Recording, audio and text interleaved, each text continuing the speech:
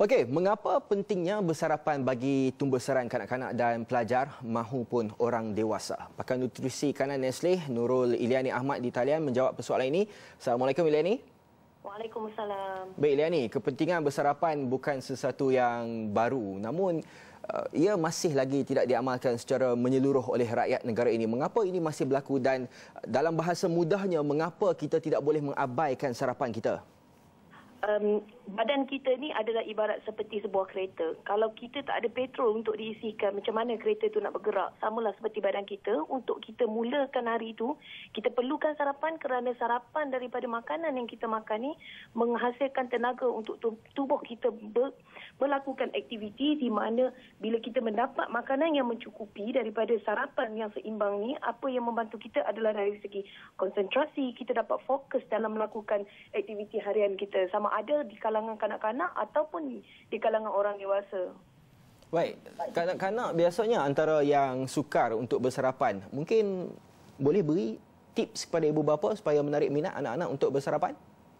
Oh ya, kalau kita melihat kepada kanak-kanak, kita merupakan ibu bapa ni perlulah menjadi contoh yang terlebih dahulu. Jadikan diri kita ini satu contoh yang baik dan pastikan anak-anak untuk kekal aktif.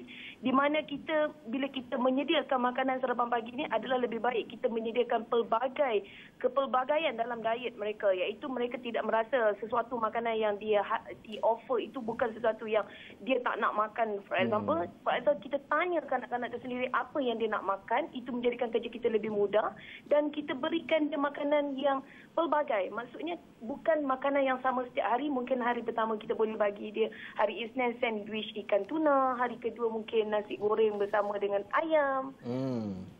Baik, saya dengar pun dah berselera sebagai orang dewasa ni.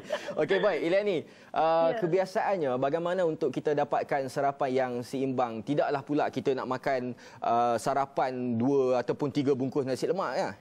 Ya, sarapan ni kita perlu ingat, ya kita boleh adakan kepelbagaian dalam diet kita, pada masa yang sama kita perlu amalkan kesederhanaan.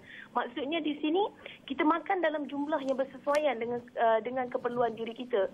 Ya, sarapan adalah sesuatu untuk memulakan hari, apa yang mudah untuk kita ingat adalah tiga perkara yang perlu ada dalam sarapan kita. Pertama, kita pastikan hidangan sarapan kita itu mempunyai kumpulan karbohidrat.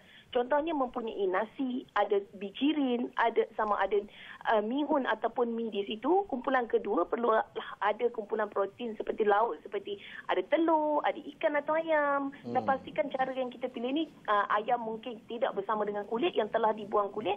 Daging contohnya yang tidak mengandungi lemak. Dan yang paling penting selalu kumpulan yang selalu kita lupakan adalah kumpulan sayur-sayuran. Contohnya nasi lemak kita boleh jadikan dia satu hidangan yang sihat dengan mana kita boleh sama ada kita gunakan timun, letak timun lebih banyak bukannya hmm. sekadar satu hiris ataupun kita celur kangkung di situ dan kita pastikan kita mengambil sebiji buah. Itu Okey kesemua itu merupakan satu hidangan yang seimbang kita katakan. Okey baik menarik saya dengar apa yang diperjelaskan oleh Iliani. Terima kasih kerana bersama Awani 745 moga tips yang diberikan sama-sama kita ambil dan mula bersarapan setiap hari.